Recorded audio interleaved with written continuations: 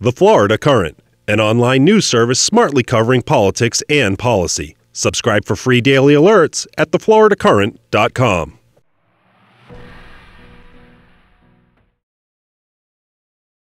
Voters in Pasco County chose Republican Rick Scott in 2010 and Democrat President Obama in 2012. Now they're being inundated with nasty mailers in a coming special election. Democratic Party Chairwoman Allison Tant calls it the barn burner.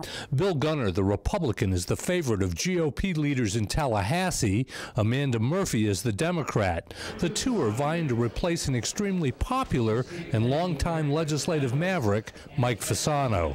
Because the district's a toss-up and moderate, many here believe that the results could be a mirror of how a Charlie Crist and Rick Scott race might turn out. Charlie Crist has gotten into the fray. The former GOP governor and likely standard bearer for Democrats in 2014 has endorsed Amanda Murphy. We spoke with Crist by phone. It's an important race. Uh, Amanda is an amazing person. Um, She'll be a great representative. Representative Fasano in debate. And while Fasano didn't endorse, he did let it slip that he voted for Murphy.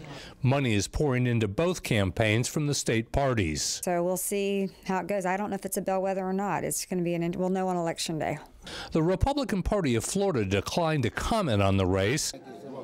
Turnout in special elections is notoriously low, and that means the outcome will likely depend more on organization than endorsements.